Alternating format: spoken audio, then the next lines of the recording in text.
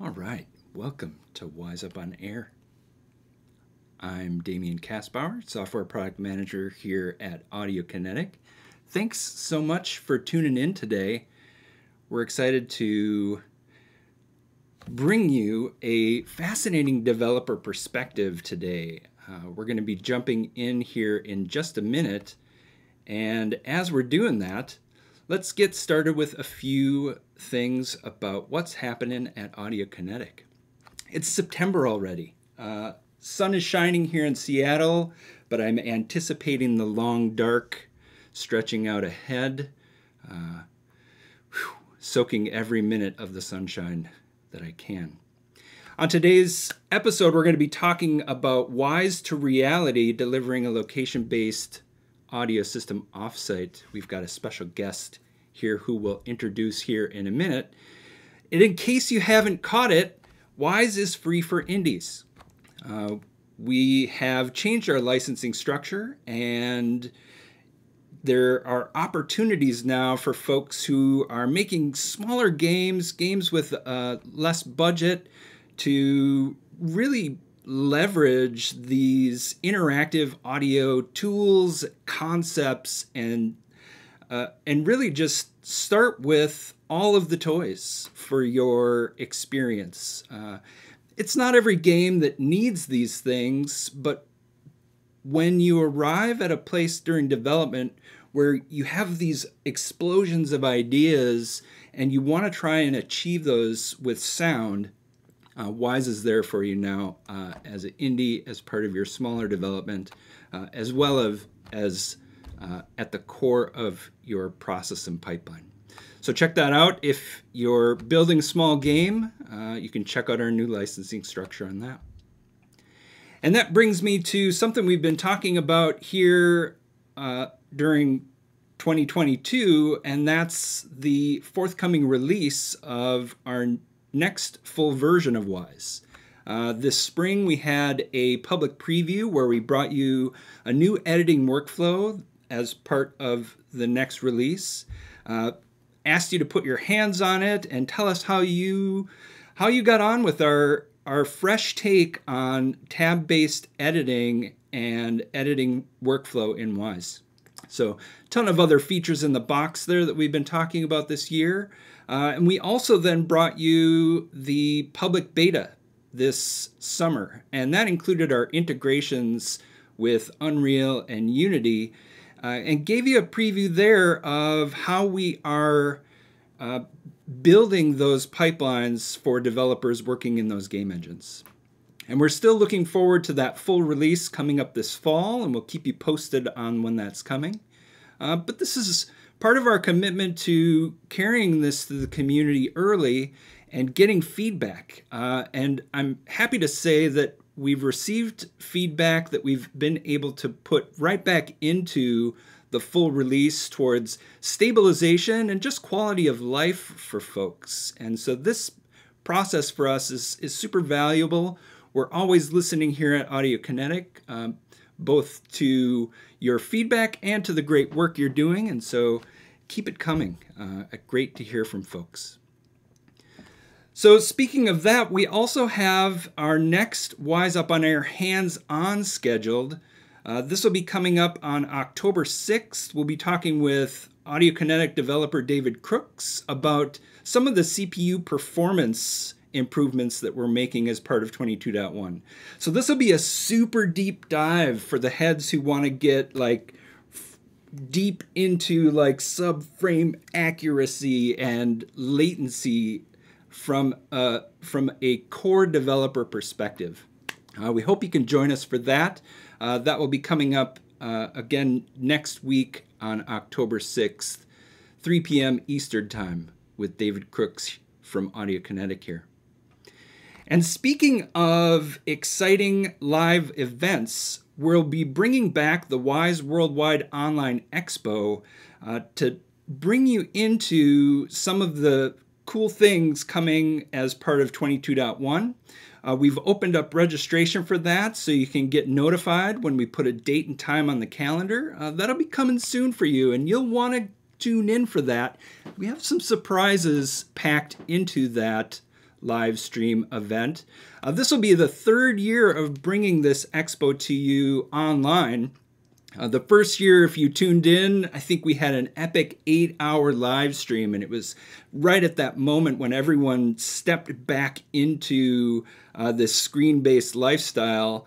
And uh, wow, uh, this year I'm happy to say we've honed that down to a much shorter program, and we'll be bringing that to you uh, along with developers here at Audiokinetic to really present this picture of what we do here as part of a release. So get signed up for that announcement and keep them peeled across our socials, YouTube, and Twitch streams. And with that, I wanted to talk about conferences. Uh, we've been out in the community over this last year uh, at the Web Audio Conference and Develop Brighton, talking about WAAPI, talking about web audio with Wwise. And we're excited to be landing at AES in New York coming up uh, later in October, where we'll be co hosting a hands on workshop with the folks from Dolby working with Atmos in Wwise to create immersive audio. So if you'll be in New York uh, as part of the AES conference, this is an a workshop that you can sign up to participate in, or we'll be going hands-on to bring you into that immersive authoring experience with Wwise and Dolby Atmos. Uh, we also got Game SoundCon coming up right around the corner on the other side of the United States in Los Angeles. Uh, we've been hosting a room at the Biltmore as part of the Game Sound Conference for years now, bringing you a diverse uh, palette of different presentations, uh, introductions to Wwise, introductions to interactive music, as well as advanced topics like optimizations and spatial audio, as well as our new object-based audio pipeline, which arrived in 21.1. So if you'll be in the area for that, we look forward to seeing you in person, uh, as well as the Game Developers Conference coming up in the spring. Uh, again, as we transition to this hybrid mode of online and in person, we want to keep taking those steps with the community and continue to meet you where you are and where you're interested in talking more about interactive and game audio. So hope to see you out in the world soon safely. Uh, and speaking of, I just came across this. Uh, there's a Develop Blue Dubrovnik coming up in uh, at the just a couple days here, uh, where Martin Stig Andersen will be talking about different music design approaches. And I'm always the first to line up when Martin is speaking. And I just wanted to surface this as an opportunity, maybe near you, uh, to really get a an expert perspective on authoring for interactive music and music design as as a, a, technique, as a skill from someone who who really knows how to do that. So I hope everyone is finding a way to wade back into these things safely and good luck, Martin. I look forward to hearing more about your talk in the future. So one thing we try to do here on Wwise Up on Air is shine a light on someone in the community who's doing something cool. And I stumbled across uh, a video from Steve Babu who takes you through the process of building a gain plugin in Wwise. And so I'm going to spin just a minute or two of that here for you uh, so to give you a taste of that. It's plugin creation and then I can use the created effect plugin on a sound asset within Wwise. I'm going to be making a gain plugin using Python and Visual Studio. Cool. So thanks for that, Steve. Uh, we'll put a link to that into the chat here so that you can jump off and check that out uh, at your leisure. But this is also something that we have covered here on Wwise Up on Air in the past. We went hands-on with several of the developers here at Audiokinetic to create a plugin for Wwise. And it's cool to see folks in the community reaching for this opportunity and taking their first steps towards creating something rich that they can use as a custom piece of their interactive audio. So if you're interested in digging deeper into creating plugins, check out Steve's video uh, as well as our two uh, episodes that go deep into a hands-on with creating a plugin for Wwise. And that brings me to today. I'm so excited to get this conversation started and thankful to have my special guest today. Uh, I'd like to welcome to Wwise Up on Air, uh, Przemysław Danowski. Hey, Przemysław, how's it going? Hi. Przemek. Ah, great to have you. Thanks for hanging in there and uh, welcome. How's it? Uh, how's it going? Hello. I'm doing great. Thank you. Great. And uh, so we're here to talk about From Wwise to Reality, which is really bringing Wwise into this real world environment that we're going to dig deeper into. But before we get started there, I know you have a rich history of interactive audio. Tell us a little bit about how we've arrived here today, kind of maybe touchstones of things that you've worked on in the past, and um, yeah, get us get us uh, introduced. Yeah. Hi, everyone. Um, my main job is um, being an educator. So I work at the University of Music in Warsaw, where I teach sound engineering, sound design, mainly in immersive and interactive environments. So this is also my curriculum is built on my uh, artistic projects and works. So this is why I not only teach but also work in the industry to get some uh, experience that I can share. So uh, yeah, and yeah, and that was slightly understated because you know some of the creative works that you've endeavored over time, I've taken a sampling of, and and like take us a little deeper into that because I know you have a rich history of VR, and especially with uh, runtime VR in uh, yeah, like weaving this sonic uh, fabric in these experiences. Uh, tell us a little bit about that. Yeah, well, I'm working with VR since 2016 when the first commercial uh, headsets uh, reached the market, but I was in love with VR since I was in the primary school. I guess it was since I watched in the cinema the movie called Lawn Mower Man by yeah, this one. Classic, yeah. Maybe yeah, yeah, yeah. And that was the moment that I fell in love with VR. It was so impressive. yeah. and and I was I guess I was 14, 13, mm-hmm. uh, really young kid but I thought that yeah, this is I, I always I was uh, learning music. Yeah, I was uh, playing oboe and keyboards and saxophone. I was in music school, and when I saw VR, I thought that this is the instrument of the future. Yeah, yeah. this is how we're gonna play music someday. Yeah. Uh, and, yeah. and that is really where you took it because I know in one of your recent VR experiences, there is that performative aspect yeah. to it. Yeah. So I parked that idea then and waited until the, the equipment will be available. Uh, so, and actually, I forgot about that. And when I saw the first demo of the Oculus uh, development kit, I just, you know, it was like bling yes. Yeah. yes this is my old love. Yeah. Well, that's great. And and you jumped in uh yeah. with i just it, was it was deep dive. Yeah. Yeah. Since the day one. Well and we'll hear more about how that arrives in the project here for the expo 2022 uh, in dubai is there anything else you want to say about your experience with you know real time audio for VR or or or interactive?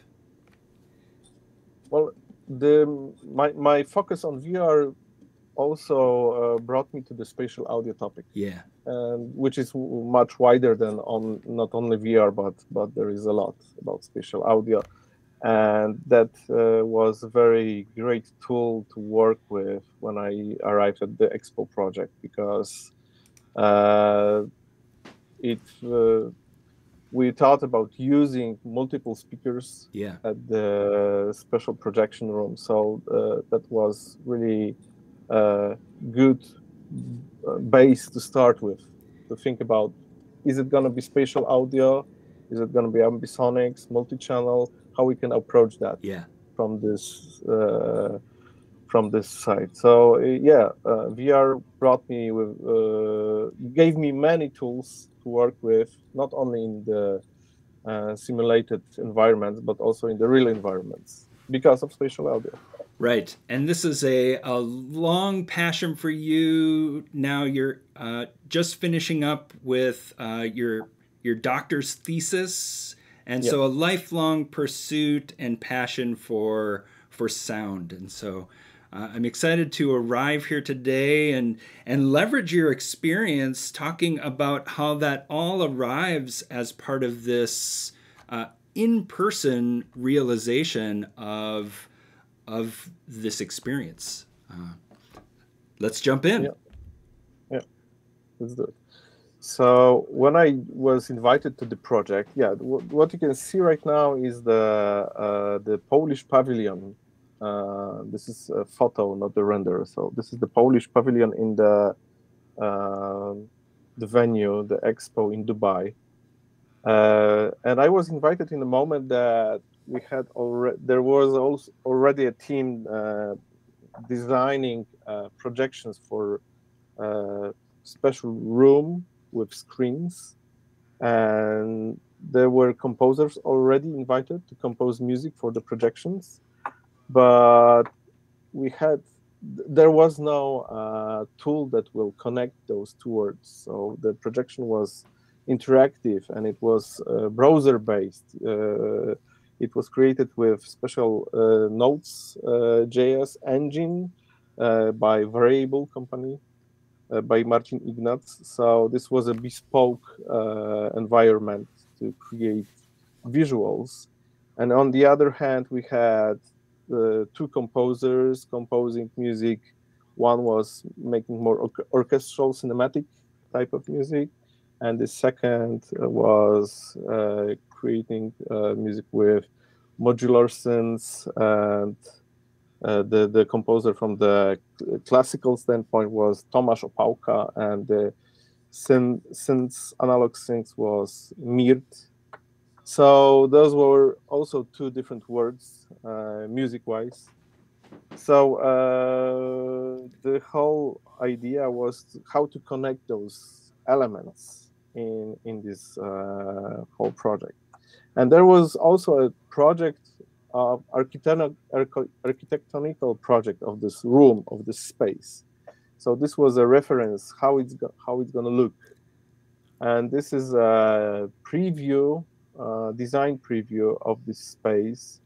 So we had two big screens and a sound system that was also not uh, common commonly used because we had some speakers above those screens and there was a ring uh, I can show this ring. Maybe on next slide it will be uh, more clear. Yeah this is cool. Yeah here you can see uh, there was a room, big screens, 40 meters long, I guess, one, and the other was nine meters, I guess, uh, very wide, uh, and with strange uh, projection format also. Yeah, so we had those three speakers above one uh, screen and three speakers above uh, the second screen, and also here you have this ring with speakers. Those boxes are the uh, pro, video projectors, uh, yeah. Video projectors, yeah. And these are speakers. So you had this ring with tilted speakers. And what uh, what was uh, surprising for me was that there was not I, I didn't uh, had uh, connection to individual channels at this speaker ring. This was just uh, split in two channels. So five speakers were for the left and five for the right. So that complicated things a bit. Yeah, and you didn't have a lot of input at this stage yeah. of arranging the hardware. But again, what yeah. you're talking about today is pulling that pulling all of these pieces together into the best representation across uh, yes. different composers, across the different environments uh, that are represented on the screens, uh, and across the the physical location that they were building uh, to present this in. And so it's it, but quite non-standard. This is not uh, this is not a yeah. home theater. This is not a uh, yeah, this is not a standard playback configuration. Yeah. So one fortunate thing was that the compositions weren't ready at that point. So we could have a session with composers where I could learn, uh, teach them about uh, how Wwise works, how interactive music can work, what we can achieve with that. Because uh, beside the uh, projections, we had also uh, possibility of interactions. So as you can right. see at this slide, we have those rings on the floor. And these were uh, connected with the sensors. Uh, here we can see the sensor above. So these were connected to sensors and those interactions made by uh, the, the audience, the people that would stand in those uh, rings, these would interact with the image or with the sound. We were planning at that stage what will happen. Right. We had just this possibility. Right. So it's so, not just leveraging the dynamic music or you know randomization opportunities for the soundtrack, but also triggering other pieces of sound to play back when folks would step into those zones of interactivity. Yes.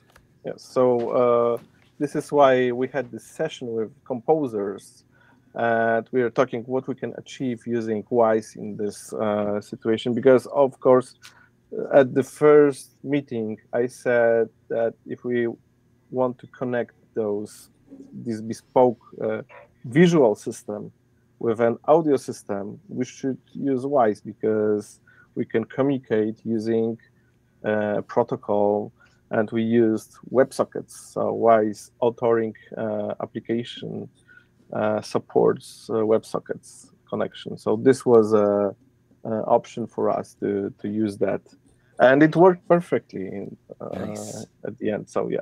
And so that's a browser-based tool that they're using to yeah.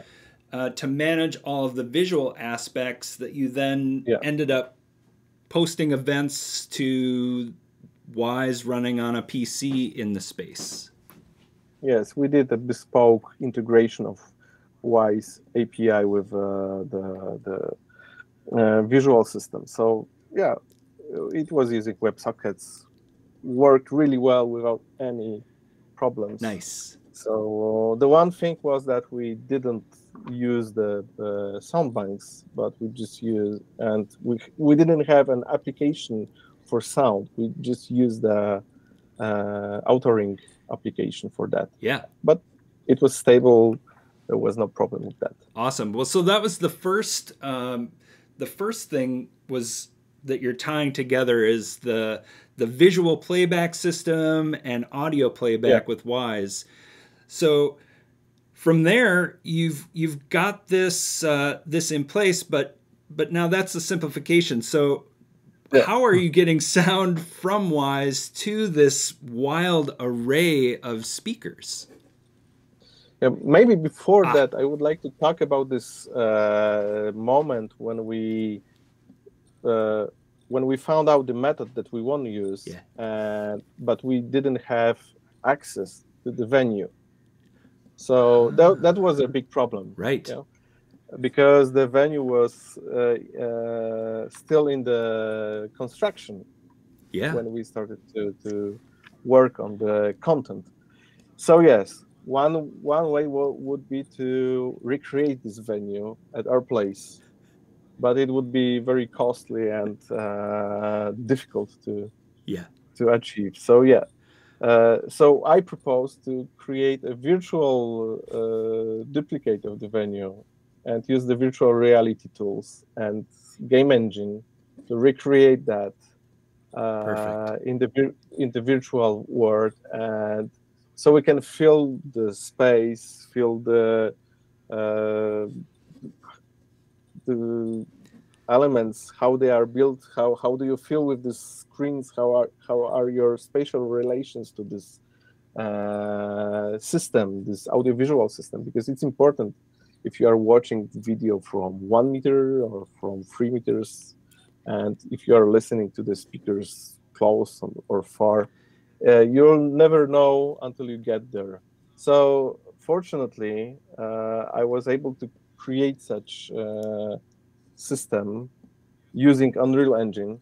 And the idea was to build this uh, in a way that once we get there with the content, we can just swap the virtual counterpart with the actual system that is on the site. And yeah. Well, so and it's it's partially a pre-visualization tool. So it's a, something that you can bring the team together to begin to understand some of the challenges that you'll face when you arrive on site, but it's also a way for for them to you know understand what the delivery of what they're working on will be and how that will arrive spatially in the space. Yeah. So yeah. yeah. But we also uh, wanted to see, for example, those screen projectors in the full uh, size because this is totally different if you see something on a 16 by 9 typical screen and comparing to that. Uh, that was one way, one, one thing. So we could project that on those virtual screens using NDI protocol. So actually, that was a real-time projection on those virtual screens. Cool. And same, same with sound. I could achieve spatial simulation of the reflections because uh, those screens have have a shape that is uh, not great for sound projection because you have those waves uh, uh gathered by those uh, uh, this this this shape of the screen. So I was wondering if this will just collapse in one place and sound awfully. So using spatial simulation of the sound of course, uh, from the Wwise spatial uh, audio system, I was able to achieve some uh, reference how it would sound standing close to, closer to the screen or being far, um, for example, in the middle. So I could place those sounds on in the positions of those speakers and simulate the the sound projection. Awesome. Yes, I just wanted to show you just a glimpse of the of the uh, system that I built. Uh, and the, the actual system was in VR, but I will not present it in VR because it would be difficult right now. Sure. So I will show only the early desktop version, which was sent to the composers because they didn't have the headsets. Great. So we, we use that so they can feel a little bit uh, how the space looks. So yeah, let me just start that. And yeah, I'm gonna run the model. And you will be able to hear the sounds, hopefully, hopefully, when I will activate the um, uh, this uh, those uh, spots on the floor. Great. Well, and I love this as a tool to help bring the team together, right? It's yeah, it, it was wonderful, and it was a great tool for presentation to the client. Oh, sorry. yeah. Great, sounds good. Yeah. So this is one of the compositions by Mir, and you can hear that. Now I am activating each of the spot on the floor it, uh, is activating sound in the speaker here above me. Right? So we could see there is no uh, animation yet projected on the screens because it wasn't ready at the moment to build that application. But I, I can show you a video from the later stage how that looked when I was using. Uh, sorry, I just left fire shot yeah. for some reason there. Yeah. Uh, yeah, let me show you uh, the video from the later stage. Um, for example, here, uh, yeah, maybe that's gonna be it. Yeah, Hello, I wanted to present. I will just mute it for a moment I'm talking there because we use also videos, recorded videos for communicating. We did it all, all of that almost all of that online without meetings because it was pandemic. Yeah. And we were working from different studios. But you, as you can see, you have the projection of the animation already on the screens here. Yeah. And I'm jumping on those active uh, spots. And at this stage, I will stop just it in this moment. At this stage, those spots were connected already to the WebSockets uh, uh, client, which was communicating with WebSocket server that I, I did just a dummy uh, WebSocket ser- server in Python. So you can see that they are corresponding here, and uh, the server is receiving true or false message from each sensor. And then we just could swap that with Wwise and uh, proper events Yeah. that will activate or disact- uh, disable uh, the uh, sounds from those sensors, right? That's great. So you can see, yeah. So you can see that the whole approach was to get as much as possible without doing additional job. Uh, so doing this VR uh, environment wasn't our actual job, but we needed that to be safe when we will arrive in uh, in the uh, Dubai because we had probably a week to deploy everything Yeah. in the place. So so we this gave us opportunity to test many things. And also, as I said, presentations for the client, which was the Polish Investment and Trade Agency. Yeah. This is a government agency, and people are used to meet in the meeting rooms Yeah. with chairs and tables. And how can you present, for example, that big installation, right? Yeah. So you can show this on your notebook, but it won't work like that. So we used the VR. We brought the VR uh, headset. Uh, it was totally different Yeah. uh, experience for them. So yeah, that helped us to uh, talk with them what they want to achieve and what we can achieve. Yeah, it was really worthwhile to do this simulation and uh, environment. Yeah, well, and as you were saying, you you have this time in advance before you land in the in the space when it's completed or close to uh, to done, and the more you can do there to align people's expectations with how that's going to uh, arrive, how it's going to sound, how it's going to look, how it's going to interact. Uh, the more you Yeah. can do to align people to that you know it maximizes your time when you are in the location Yeah. because there's no questions people are already they already understand you know decisions that have been made up front and potential scenarios that will have to be flexible Yeah. because of the space Well, this approach uh, was really. I was really impressed when I came to the venue and uh, and I felt that I was already there before.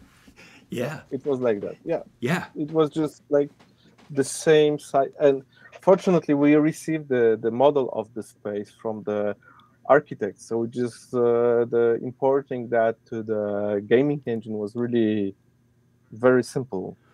wow Uh, we used yeah well because they did all the all the modeling work. So it was just like uh, import and and that's it. yeah And use it. Well, then I love how our different disciplines have that ability uh, that you could take an architectural mock-up and import it into a game engine, and that you could yeah. translate that uh, into this workflow uh, remotely, so that everyone could understand and align on what what was happening. Uh, that's uh, yeah. So rich. It, it it felt like uh, the future. Everybody is talking right now about metaverse, and we just were working using metaverse on that project. cool, cool. yeah. So the uh, one uh, thing that was uh, surprising for me was the moment when the, um, the joint venture that was doing this project as a, a, producer, they said, "Yeah, we have money to record a real orchestra and use it." Because at first uh, there was an idea to use uh, virtual instruments right. for the orchestral part, but then they said, "Yeah, we want to do it. We have partnership with Philharmonics in Szczecin, and we can record that uh, and have better quality." So that was the point when I asked myself, "Yeah, so how do I use that orchestral material in such way that I can expose every virtue of that using this uh, sound system. Right. So yeah, so I was. Uh, let's go to this slide with yeah. So I was thinking about using uh, mixed approach. Uh, doing my research, I found out that there are many ways to record spatial audio, not only ambisonics or uh, or uh, multi-channel, but you can mix those together or uh, you can spatialize object sounds recorded with the spot microphones. So yeah, so I thought that I should do it two ways. One was the multi-channel recording with system that you can see on the screen right now. So this is a 3D Cubes microphone system yeah. with uh, additional uh, XY per uh, stereo pair in the middle, mm-hmm. just to capture more of the center of the scene. And uh, the second approach was just to use spot microphones. Mm-hmm.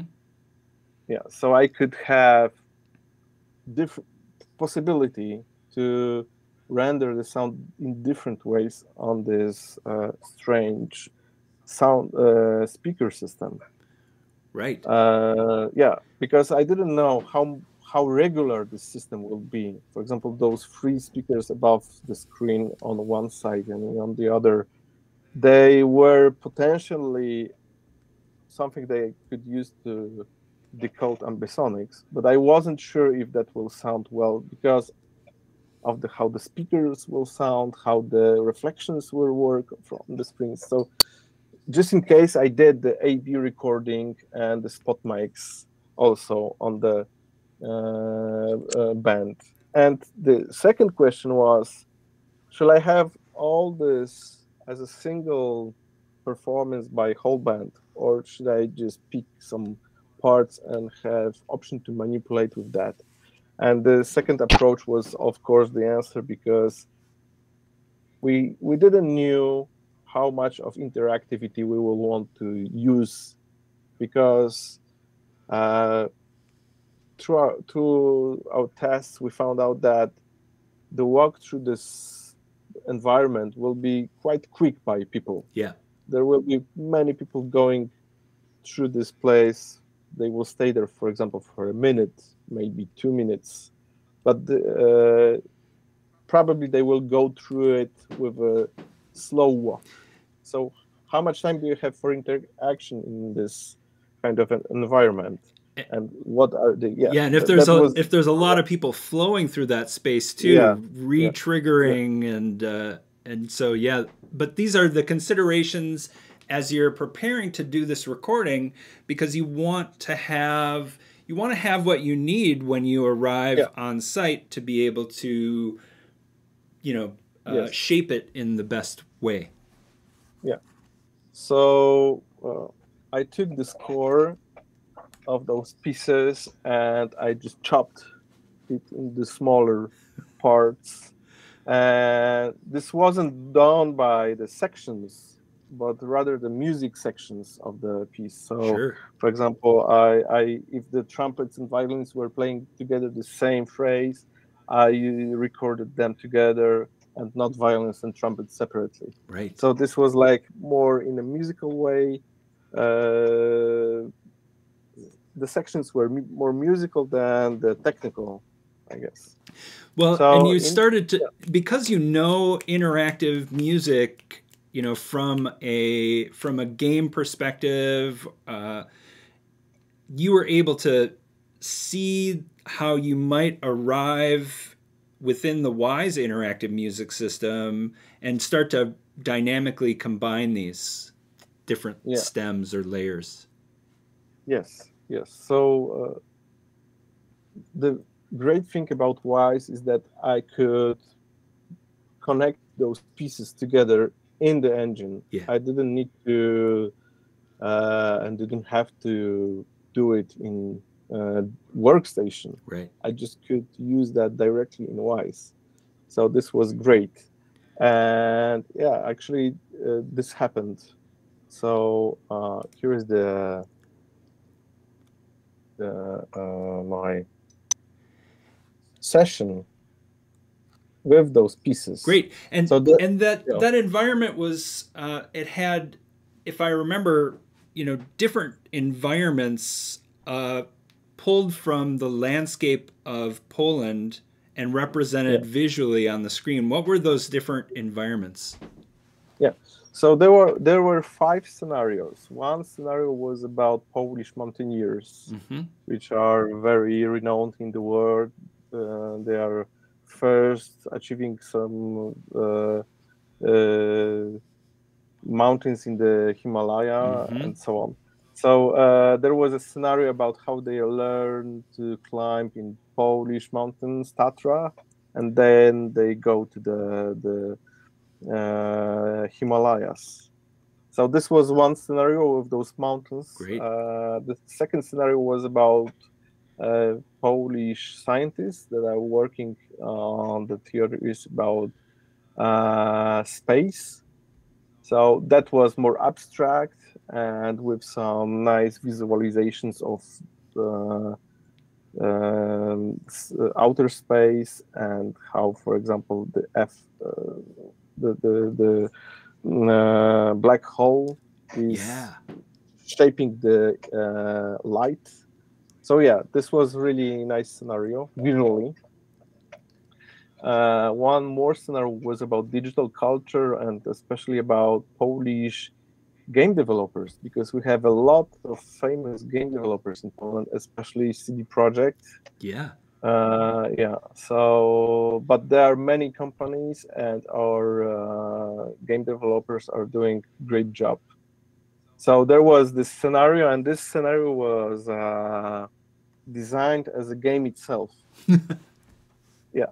So people could interact with those spots on the floor and just uh, uh, hit the blocks that were appearing on the on the screen and uh, yeah so this scenario was tricky because uh, we actually didn't knew how long someone will play the game so we had to do the looping and interactive music and if you won then uh, was the ending sequence uh, of course there was some time limits for that but it was uh,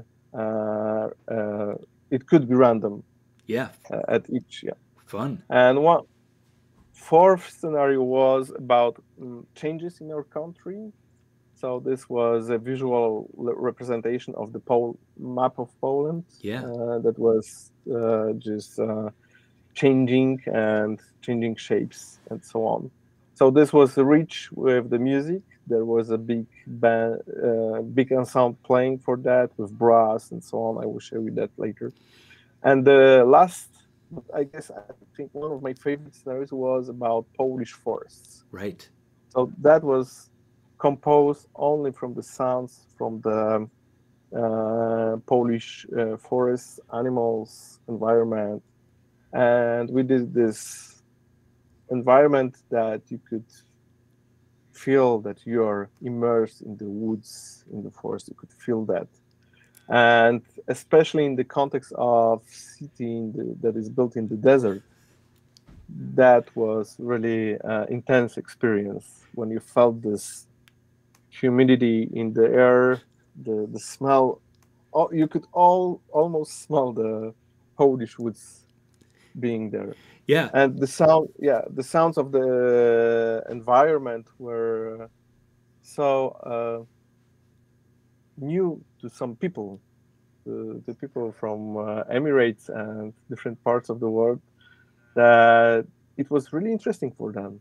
Something that we are very used to it. Uh, that was something new for for uh, many people there. So it was interesting. Yeah, so it's bringing that immersive experience from a culture and you know putting it in this case in the desert and having that accessibility for people to immerse themselves in the soundscape, in the landscape of Poland, and experience that multi-sensory immersion, uh, you know, and and bring that kind of dynamics to it, both uh, with the variations uh, musically and sound that we're used to from an interactive audio standpoint, uh, but also in this space with this rich experience, yeah, really uh, brings people into that feeling and and a and striking striking experience. Yeah, yeah. The visuals were like uh, animated diorama of woods, so you could just stand there or some people even light on the floor and just listen to it. So yeah that was uh, really interesting. And we had this uh, uh, change of time of day during this uh, short presentation. So you could start in the woods in the night and finish that in the morning so you could feel how the there, there is this dawn uh, and the change of light. And of course we did the in interactive sound so the time of day change also yeah. with the sounds. Nice. And again bringing your experience with you know interactive audio time of day systems in a game super common right but maybe yeah, not yeah, of course but maybe not for uh, for the people who were imagining this experience but you know an easy contribution for sound to be yeah. able to to work dynamically in that way. Of course, of course, yeah. Great. So we did five scenarios. Two were with the, the modular synth music. Uh, mm-hmm. Uh, two were with the orchestral music, and one was just the sounds of nature. Great.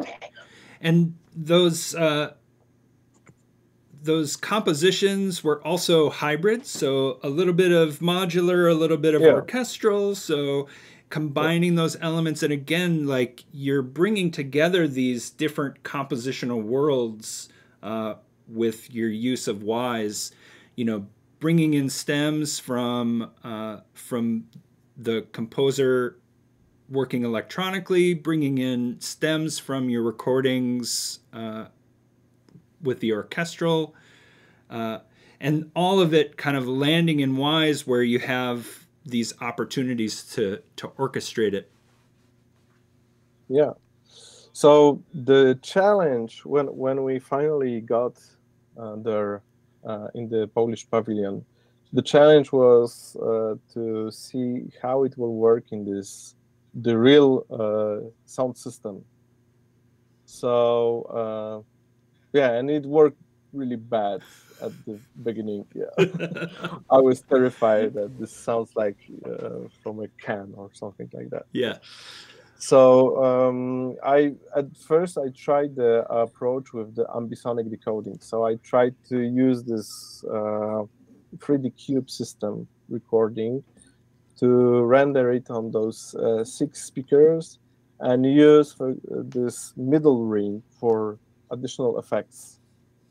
But unfortunately, uh, the speaker system was working well, uh, but only when you had this sound spread around it. And uh, when you had those sections uh, from the from the recording from the front of the stage of the scene, it just disappeared somehow. The sound was not so full. So uh, I was thinking, scratching my head, how can I manage that? And at at one moment, I I uh, remember that I was on a meeting uh, with people that were talking about acousmatic music. Uh, and acousmatics is a, a, word from the French electroacoustic music. Uh, this is a term describing the method of playing electroacoustic music where each speaker is a separate instrument and they are placed on the stage. So I uh, thought myself that maybe this approach will work. So I can use different speakers for different sections and play the sounds through them. And when I I, I was of course mixing that using uh, the the system at the venue. So I uh, I stayed overnight because during the day there were a lot of people finishing construction and and uh, finishing the exhibition uh, spaces. So I stayed overnight and I started mixing using that yeah. way, and then it started to sound right. Well, and it's so, it's that yeah. abstraction, right? Because you arrive in the yeah. space, you are now faced with the exact physical constraints as well as the constraints of your playback system. And as you mentioned, you have the three sets of speakers on each, on the at the top of each screen and then you have that circle of 12 but they're not uh, you know that's not uh, 12 uniquely addressable speakers i think you were saying. So you have to find the best presentation of the audio for that space and ultimately it sounds like the only way to do that was in the space with some yeah, time. Yeah well, I could simulate some of that using this VR model. Yeah. But actually, I didn't have much time to do it after the orchestral recording. Sure. So I didn't have time to do the mixing in the virtual environment. I just hoped for the best going there, having those different kinds of materials. Yeah. Uh, but you arrived with all of these different pieces yeah. in your in yeah. your kit to be able to shape that result in the space yeah. in the best way possible. And again, it's a good thing that you imagine different ways of playing this back and then took a step into abstraction because the expectation that it be um, you know a literal orchestral representation left right center or you know a surround representation like as you said that that didn't work so you took a step out of that and just started placing these elements in the space in a way that sounded right. And I think that's a that's a smart improvisational choice. Yeah, having options is always crucial. yeah. to, to, to cope with some uh, limitations unpredictable yeah. limitations yeah yeah exactly so so the the frequency range of those speakers was uh, not work was limiting the sound when it was played back. Sure. Uh, in this traditional, more more matrixed way. Yeah. And using those individual channels to play those, use them as sections. Yeah. So actually, I, I use uh, stereo pairs as a section because I had stereo recording, and that worked pretty well. So uh, the one thing that helped me also was that I could use the channel routing inside Wwise. Right. Yeah. And that, that was very. Yeah. And that was the Wwise Channel Router plugin, where you're just yes. targeting very directly channels uh, that are yeah. attached to the computer using your Dante interface. Yeah, that's right. So this was pretty simple. I just needed to to uh, sometimes to copy uh, the tracks to another one so I can put it into another channel, but that was uh, working really well, and then I just could uh, manage the volume of uh, different sections also using Wwise. So actually, I was using Wwise as a, a mixing application Yeah. for that, Yeah. Perfect. and it worked really, really. So besides the, the the mapping of the channels, there was also some uh, cases when we used the interactivity for the music, for example.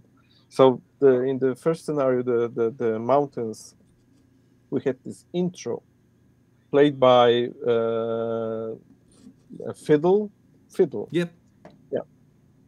So we had many versions of that uh, intro, and each time it was uh, played back, you could uh, hear a different version. Right. Uh, so as you can see, this intro was in three sec, three phrases, three musical phrases. So each phrase was recorded in many variations. So each time it was uh, randomly chosen. So those you could multiply that Nice. and see how many you have variations of that. Yeah. That's great. Yeah. So it worked really well, especially for people that were um, uh, the the hosts of the exhibition because they heard this music all day long. Yeah, of course. so those variations for them were were uh, actually uh, life saving. I guess. Yeah, I- It's- run whole day many Uh-huh. times. well, let's let's hear some of that if we can. yeah, yeah, of course. So this is the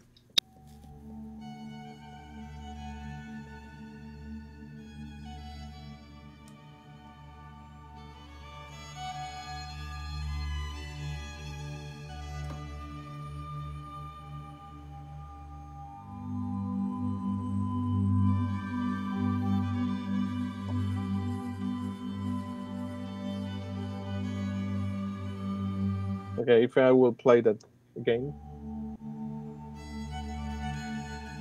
there is some different version Of course. of the same. Yeah.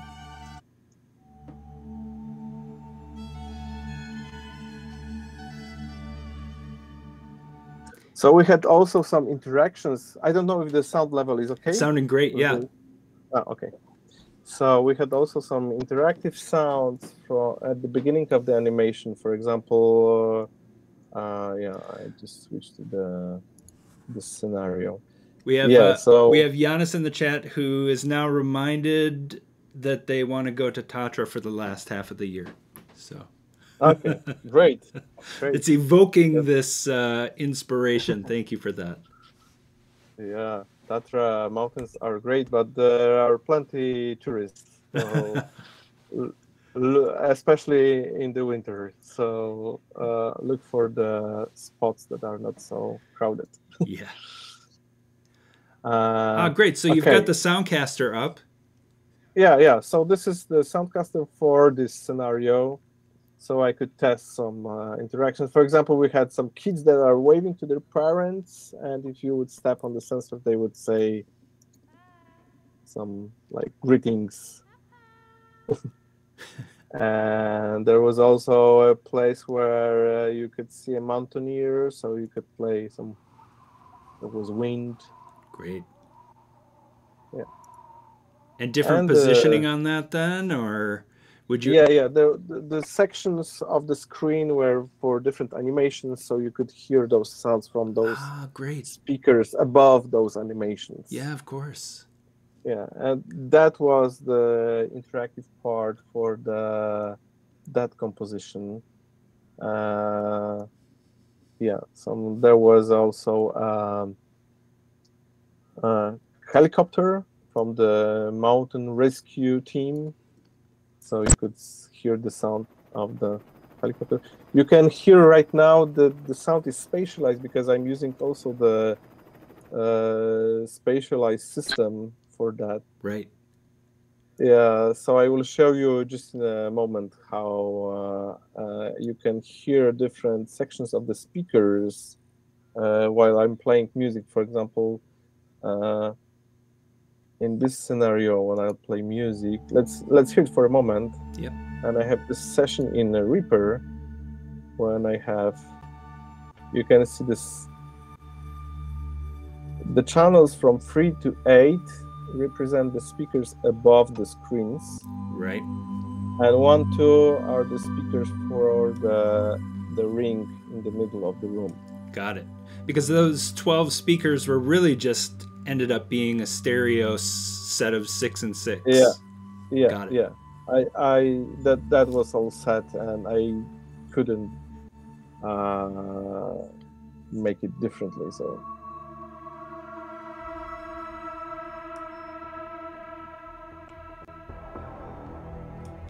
so as you can hear right music for screens.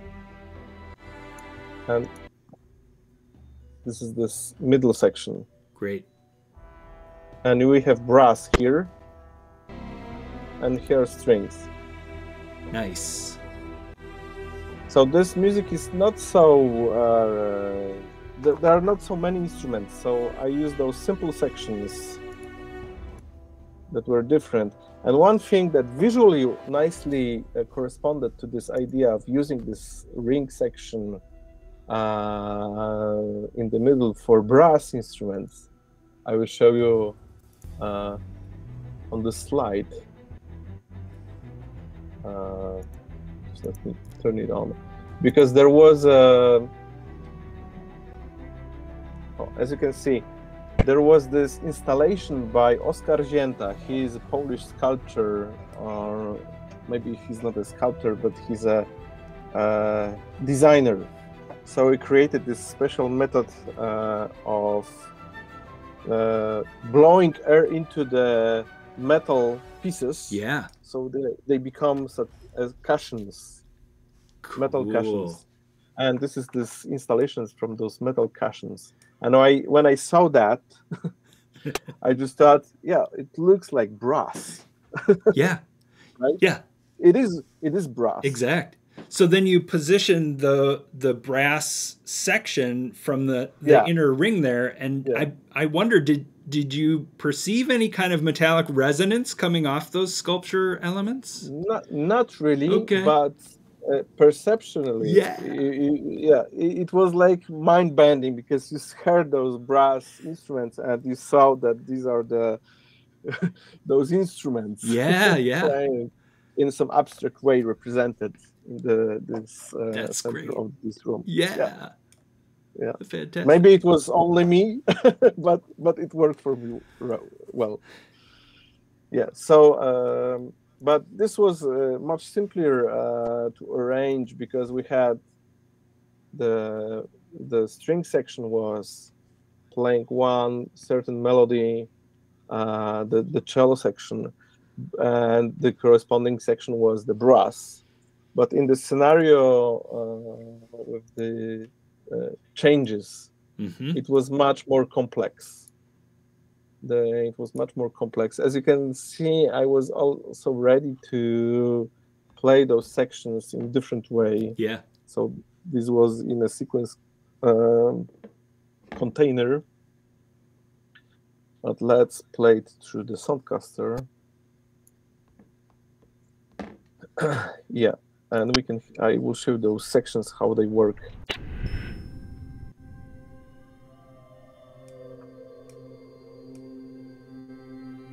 So what you hear now is a binaural uh, simulation of the speaker system around you, and those two channels are uh, that are stereo are just played as a stereo.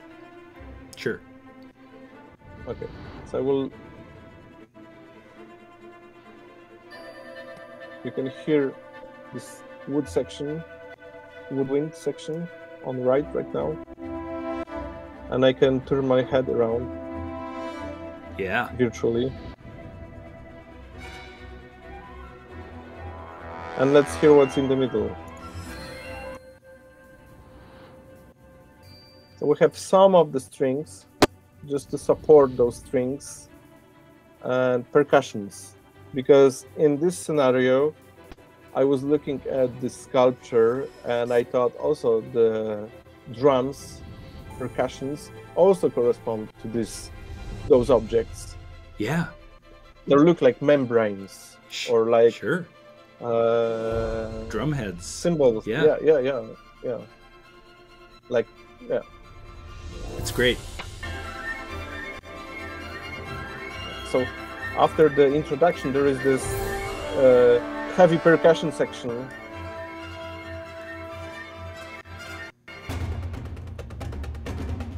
And you can hear that some drums are in the middle and brass, of course, Mhm. and some are outside, so they correspond to each other. Nice. They're uh, two voices dialoguing. right.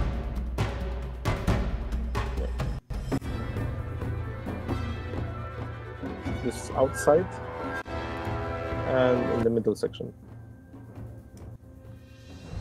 So there are moments when, when the center section is heavier and when the outside is heavier, right? So you can have the audience can feel the difference between when so closer to finale every section is pretty loud.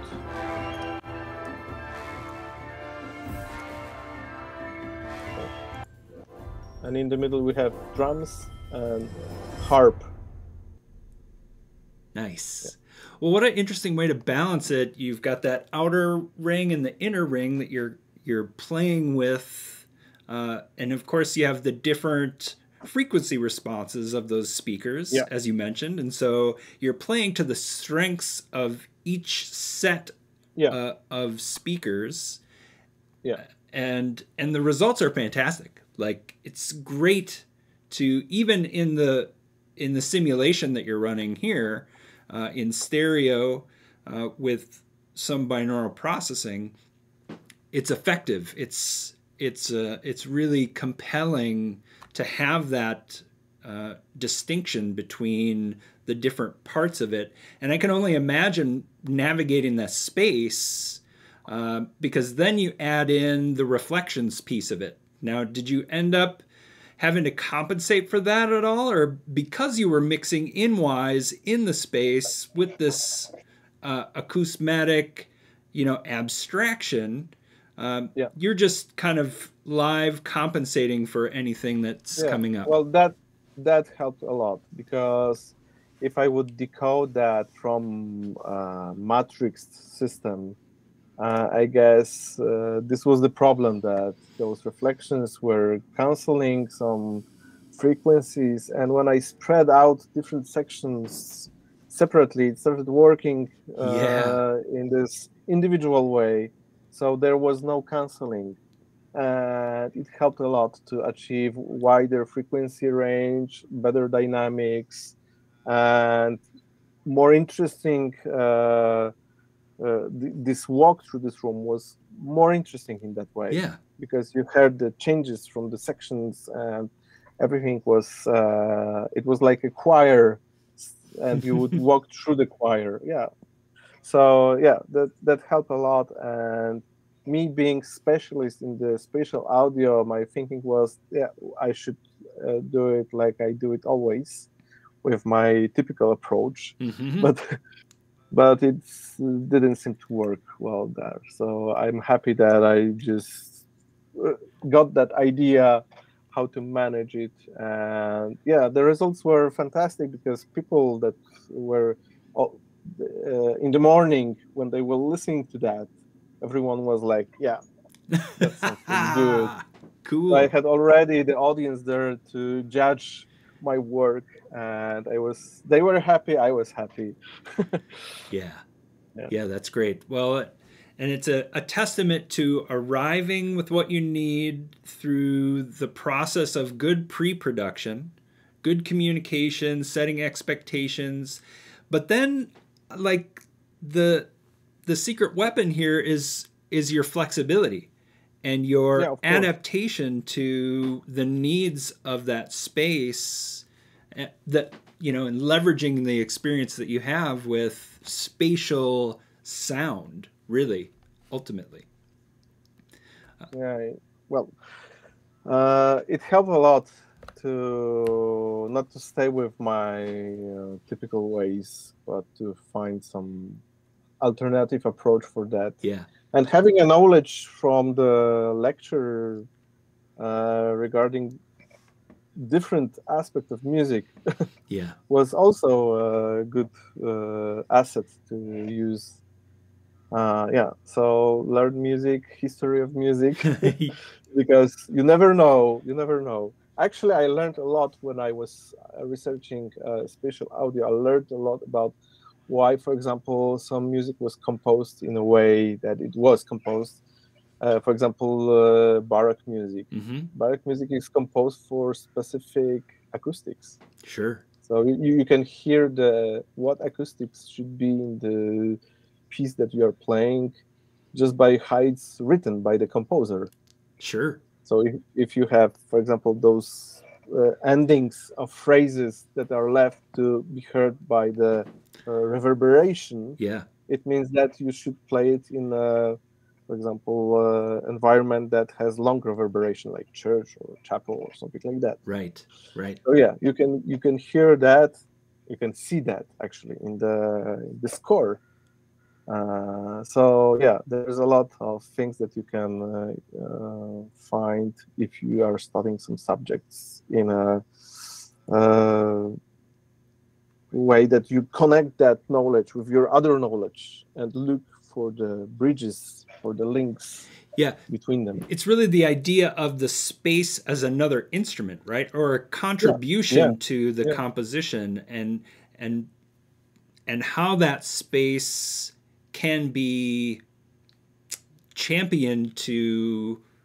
to work with the composition in the best possible synthesis right uh, Yeah. and and certainly that's what you've achieved with this uh, P- Poland Expo presentation, right? It's the synthesis of all of these compositional techniques from both the composers working electronically and orchestrally, the composition inside of Wwise using different interactive audio techniques, interactive music techniques, and then the flexibility of being able to route things to that room to the way that it was designed and and then finally the real-time mix of it uh, in the space without having to without having to go between a lot of different applications or change your workflow. It's all right there at your fingertips.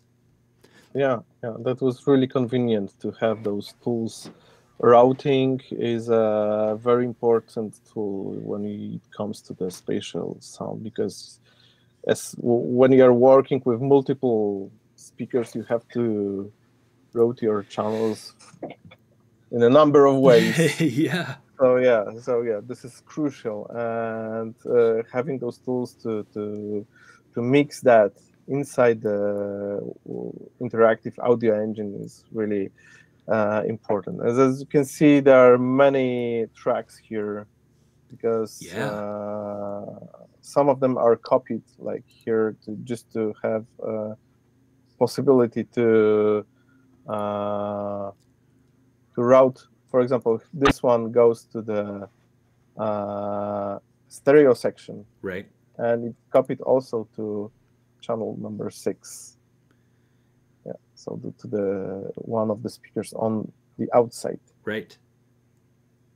Yeah. so yeah as you can see there is this routing through different tracks through different channels. Yeah, and really no rules. Like you said, you know, from a Yeah. from a composition Yeah. standpoint, it might not have made sense to to duplicate that part, um, you know, in the music, but in the space and you know to get the sound that you wanted, doubling that track and positioning it differently gave you the results that you were looking for. yeah and it was tailored by my ear so Yeah. uh, this is the way the best way to approach mixing, I guess. So not using just standard approach that this should be on left, this should be on right. Yeah. In this environment, there there are no rules, so you need to be flexible Well said. as much as possible. Yeah. So uh, the interesting scenario with the um, ambience of the forest, Yeah.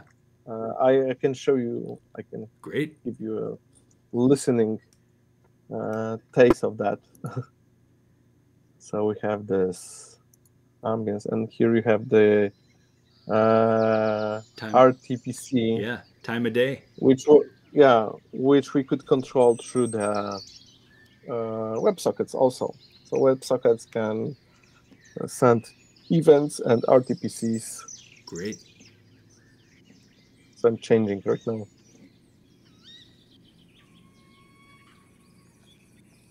Mm-hmm. so now it's night full night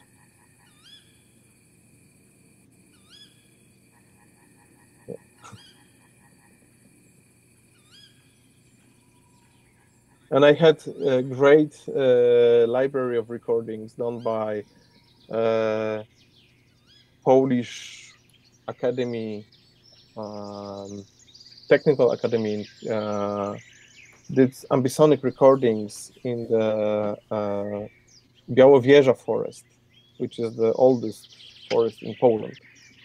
And these were really nice quality, and I could take some of that and do this uh, mix uh, that we use. That's great. And what was the? How long did the day-night cycle elapse? Well, it was short, Yeah. so so there was no space to do very uh, tangible changes. Yeah. It, it was like a very swift change. I can show you on a video actually. Uh, let me see. Uh, yeah, I had somewhere. Oh, I uh, maybe here. No, this is different. This is this is something else. I will. I can show you this also, but yeah. Uh, oh, maybe I don't have the video. Oh, okay. I remember now. The video was I've seen that on YouTube recorded by some visitor. Okay, great. Yeah, there, there are lots of YouTube videos from the Polish pavilion because we had one and one point five million visitors Wow. during during the exhibition. Yeah. Yeah. Moving So- moving swiftly through there and uh, Yeah, yeah. experiencing that. Uh, we're getting a lot of love in the chat from folks uh, around what folks are hearing. So thanks for giving the shout out there. Uh, it is sounding great, Przemek. It's uh, fantastic. Uh, love to hear that. Yeah. So okay, uh, I wanted also to show the uh, give my respect to the composer uh, Mirt that did this uh, modular synth analog uh, piece, and I can show you the interactions and how the piece was Great. uh, built. Uh, so yeah, games was our code name for this scenario, and as you can see, yeah, we are starting to playing the game. And actually, this I received as a stereo piece, so the routing was much easier the mixing, uh, and because of the frequency range of those instruments, it was sounding quite well, just dispersed on this uh, system uh, quite evenly. So as you can see here, Yep. yeah, left, right, left, right, left, right, and it sounded quite well. So we had uh, for those interactive sections sounds uh, positioned Yeah. above those speakers around. Those ended up on the center ring of speakers. Uh, those interactive sounds? Yeah. No, just above those sections where the people were playing. Ah, great. those- yeah, interactive zones were before the screens. Cool. Uh, yeah, so you could face the speaker and then you could hear if you hit or miss the object. Yeah. Right, because people are jumping back and forth between those interactive paths to try and Yeah. um, Yeah, yeah, Yeah. play the game. yeah, and if you will finish the game, the game over section comes. Yeah, so this ends the loop, and we are going to the finale of the uh, scenario. Nice.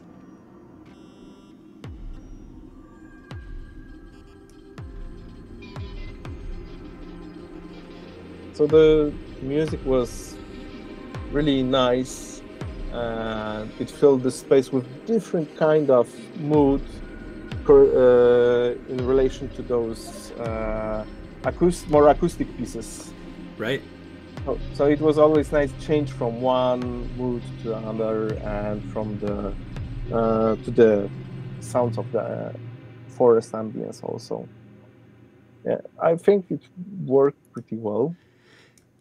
It's got a great diversity across the different environments and experiences. And like you said, kind of stays fresh the whole time. Yeah. Yeah. Both because of the different genres, but also because of the techniques that you're using. You know, uh, randomizing those different uh, solo instruments uh, for each repetition, or the dynamics of the day and night cycle. Like these are all these are all tricks that we know well in game audio, and yeah, it makes sense leveraging that in the space in that dynamic environment. Yes. Keeps it fresh. One thing that I, I, I really liked in this project was that uh, I was working with composers, but I wasn't a composer myself for that piece. So this was really good thing because on many occasions you mix your own things Yeah. and you don't have this fresh approach to that material. And in that, I was uh, uh, relieved of that yeah, responsibility yeah, and it was really really nice to focus on uh, working on that sound without the uh, the burden of being a composer right, yourself so yeah right. You could Yeah. you could stay an interactive and spatial orchestrator, right? You you Yeah. brought these Yeah. performances into the interactive domain and position them in the space with the best representation, divorced from the uh, from the creation of that source material. yeah so a few interesting things uh, that we uh, learned from this project is that using this virtual environment to present project to the client is something that you can use in different scenarios. Yeah, uh, the my friend that was doing this uh, animation, Maciej Ligowski from company Creative Planet, uh, they create videos for the dome projections hmm or half dome projections, right. and you we don't think about that, but it's difficult to present that to the client if you don't have actual dome. yeah, yeah, How do you show that? So using this approach that you virtualize that and you put that, for example, in a special application in your headset, yeah, send that to client, he can see the thing as he would be in the dome. yeah. Right. So uh, I think there is a plenty of uh, possibilities to use that. Yeah. Uh, not only to design games, but game engines are really fantastic uh, environments to create all sorts of uh, audiovisual uh, devices. So, as you said, uh, for me, it's a space for uh, bringing music instruments that you don't uh, you you don't find in the real world. Yeah, You can bring those into life in uh, in such environments, and having a great sound engine to uh, support that is also in, important. Yeah. Well, and, and what you're saying is really just bridging that communication gap, right? It's it's that you're using the technology to help keep people informed about in this case the project, right? And and these tools that we have, game engines, audio engines, techniques, you know, they they bring us closer to that collaboration. Whether we're talking about a game that's being worked on remotely by a, a group of people, uh, or an experience like this where the preparation that you do up front, you know, arrives on site with that ability to to really execute uh, during that short window of opportunity to create this environment and immersive experience in person.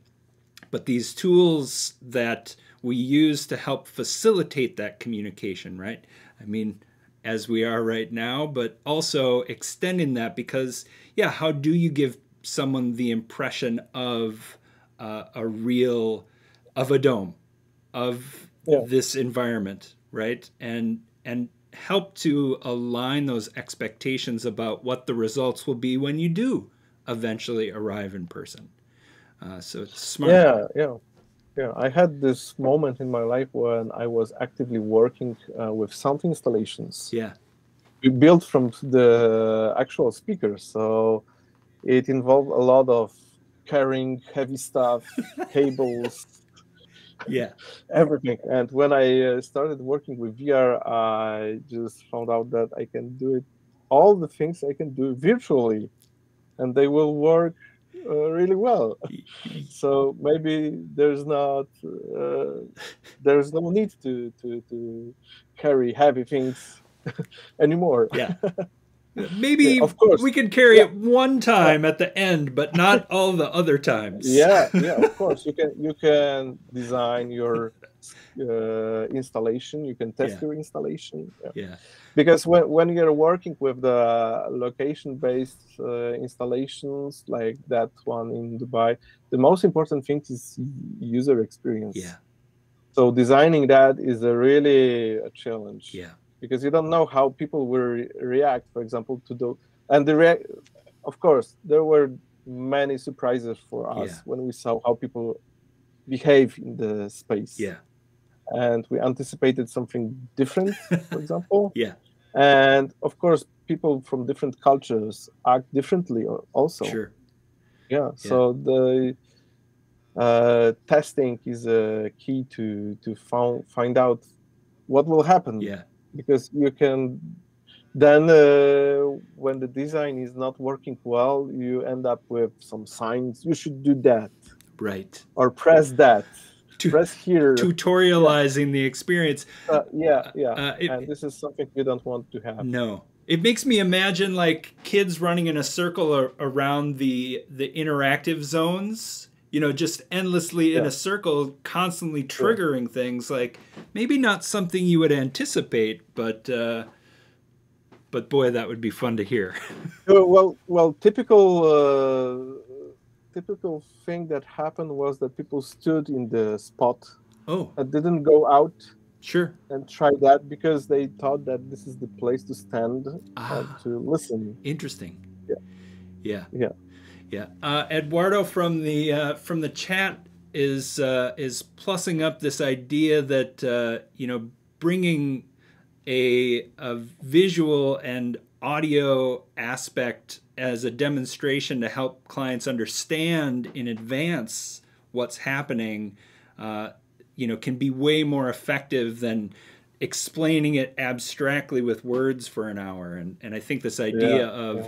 show don't tell in that experience is super valuable. Thanks, Eduardo. Yeah. It. Greetings, Eduardo. He knows a lot about it. Ah, nice. Yeah, yeah, yeah. Great. Yeah. So it's. Uh, but you can't uh, you can't know everything, and staying flexible to what happens when you arrive, um, and even after the fact, if you were to do it again, like taking your experience, and that's something that that I see in your career that you've continued to to carry forward is your experiences with sound, with interactivity, and and space, and how that just arrives uh, for this project at least uh, at the best possible uh, intersection of all of your interests. So, thanks so much for sharing all of that with us today. Thank you very much. yeah, it was a great talk. I really uh, appreciated that perspective on it. Yeah, it's been a pleasure to talk about that, and I uh, really happy to that I gather all this in one video that I can share with my students. Yeah, it's gonna be a great material for them. well, and great material for our community out there, uh, working with Wwise and working in spaces to create these very interesting ways to bridge the gap between people, uh, bringing people into uh, another way and another culture's experiences. I think really helps. Uh, yeah, helps us connect uh, during times when we can't or in ways that we can't necessarily. So it's great work to be doing.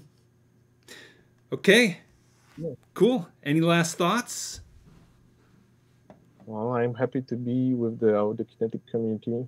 And now I'm serving as a certified trainer, so I'm happy to be even more in this community. So, yeah. Great. Happy to be here. Great. And sure, great to have you out there. And again, uh, you know, masterful use of the technology and all of these elements arriving in time for your creation. So it's a gift uh, to be here and to have your experience on Wwise Up on Air. Thanks to folks who tuned in uh, in the chat. Great to have you here. And uh, if you're out there working with Wwise uh, and interactive audio, keep reaching for those cool things to do in the world. So, Przemek, thanks so much for your time today. Thank you, Damian. All right. And so it's been pleasure. It's been great. So take care until next time. Uh, this is Wwise Up on Air. Thanks. Thank you very much.